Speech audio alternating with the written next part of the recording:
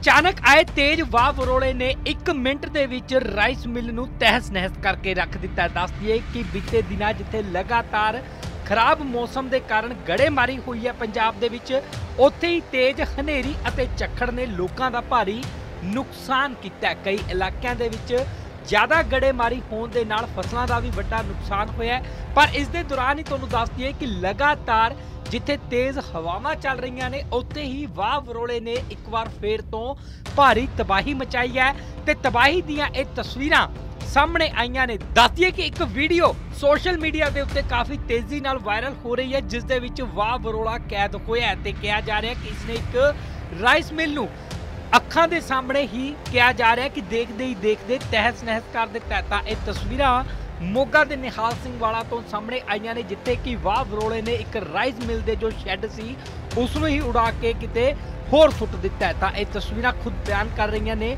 ਕਿ ਆਖਰ ਕਿੰਨੀ ਭਿਆਨਕ ਇਹ ਤਬਾਹੀ ਰਹੀ ਹੋਵੇਗੀ। ਹਾਲਾਂਕਿ ਇਸ ਦੌਰਾਨ ਇਸ ਰਾਈਸ ਮਿਲ ਦੇ ਮਾਲਕ ਦਾ ਬਿਆਨ ਵੀ ਸਾਹਮਣੇ ਆਇਆ, ਜਿਸ ਦੇ ਵਿੱਚ ਉਹਨਾਂ ਨੇ ਕਿਹਾ ਹੈ ਕਿ ਮਹਿਜ਼ 2 ਤੋਂ 3 ਮਿੰਟਾਂ ਦੇ ਵਿੱਚ ਇਸ ਵਾਹ ਵਰੋਲੇ ਨੇ ਉਹਨਾਂ ਦੀ ਰਾਈਸ ਮਿਲ ਨੂੰ ਤਹਿਸ ਨਹਿਸ ਕਰਕੇ ਰੱਖ ਦਿੱਤਾ ਪਰ ਗਨੀਮਤ ਰਹੀ ਹੈ ਕਿ ਕਿਸੇ ਦੇ ਵੀ ਜਾਨੀ ਨੁਕਸਾਨ ਦੀ ਖਬਰ ਸਾਹਮਣੇ ਨਹੀਂ ਆਈ ਹੈ। ਤਾਂ ਦੱਸ ਦਈਏ ਕਿ ਆ ਵਾਹ ਵਰੋਲੇ ਨੇ ਇੱਕ ਵਾਰ ਫੇਰ ਤੋਂ ਲੋਕਾਂ ਦਾ ਭਾਰੀ ਨੁਕਸਾਨ ਕੀਤਾ ਹੈ ਤੇ ਇਸ ਦੌਰਾਨ ਇੱਕ ਰਾਈਸ ਮਿਲ ਦੀ ਤਸਵੀਰ ਸਾਹਮਣੇ ਆਈ ਹੈ, ਜਿੱਥੇ ਕਿ ਸਾਫ਼ ਦੇਖਿਆ ਜਾ ਸਕਦਾ ਹੈ ਕਿ ਜੋ ਸ਼ੈੱਡ ਪਾਇਆ ਹੋਇਆ ਸੀ, ਲੋਹੇ ਦੀਆਂ ਚਾਦਰਾਂ ਸੀ, ਉਹ ਦੂਰ ਜਾ ਕੇ ਖੇਤਾਂ ਦੇ ਵਿੱਚ ਡਿੱਗੀਆਂ ਨੇ।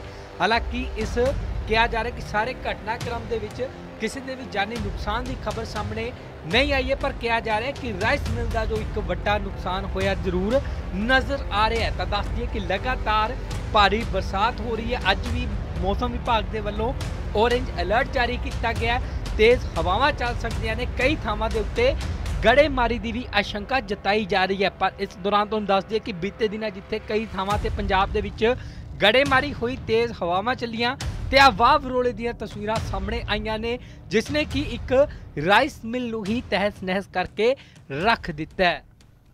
ਤਕਰੀਬਨ 3:30 ਪੌਣੇ 4 ਦੀ ਗੱਲ ਆ। ਜੀ।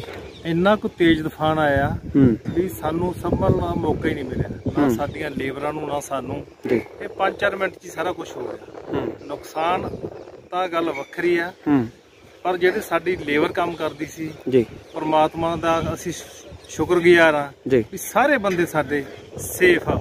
ਜੀ। ਕੋਈ ਵੀ ਬੰਦਾ ਸਾਡਾ ਗੁੰਮ ਨਹੀਂ ਹੈ। ਬਿਲਕੁਲ ਸਾਰੀ ਵਾਹਿਗੁਰੂ ਦੀ ਅਪਾਰ ਕਿਰਪਾ ਨਾਲ। ਸਾਡਾ ਸਾਰਾ ਸਟਾਫ ਅਸੀਂ ਖੁਦ।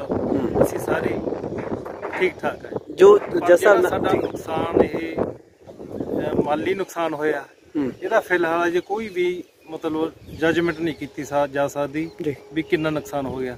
ਬਾਕੀ ਤੁਹਾਡੇ ਸਾਹਮਣੇ ਹੀ ਆ ਤੁਸੀਂ ਮੰਜ਼ਰ ਜਿਹੜਾ ਕੁਦਰਤ ਦਾ ਮੰਜ਼ਰ ਆ ਇਹ। ਤੁਹਾਡੇ ਸਾਹਮਣੇ ਹੀ ਆ ਤੁਹਾਡੀ ਕੈਮਰੇ ਦੇ ਵਿੱਚ ਕੈਦ ਹੀ ਇਹ ਵੀ। ਕੀ ਕੁਝ ਹੋਇਆ ਇਹ। ਇਹ 2-4 ਮਿੰਟ 'ਚ ਸਾਰਾ ਕੁਝ ਹੋ ਗਿਆ ਜੀ ਬਸ ਜੀ ਔਰ ਤੁਸੀਂ ਕਹਿ ਰਹੇ ਸੀ ਕਿ ਕੁਝ ਕੁ ਜਿਹੜੇ ਵਿਅਕਤੀ ਨੇ ਇੱਕ ਦੋ ਤੁਹਾਡੇ ਮੁਲਾਜ਼ਮ ਨੇ ਉਹ ਜ਼ਖਮੀ ਵੀ ਹੋਏ ਸੀ ਉਹ ਥੋੜੇ ਬਹੁਤੇ ਜ਼ਖਮੀ ਸੀ ਉਹਨਾਂ ਨੂੰ ਟ੍ਰੀਟਮੈਂਟ ਦੇ ਕੇ ਉਹ ਸਾਡੇ ਕੋਲੇ ਹੈਗੇ ਆ ਕੋਈ ਦਿੱਕਤ ਨਹੀਂ। ਖਤਰੇ ਤੋਂ ਬਾਹਰ ਨੇ ਸਾਰੇ ਜੀ ਹਾਂ, ਕੋਈ ਪਰੇਸ਼ਾਨੀ ਵਾਲੀ ਗੱਲ ਨਹੀਂ।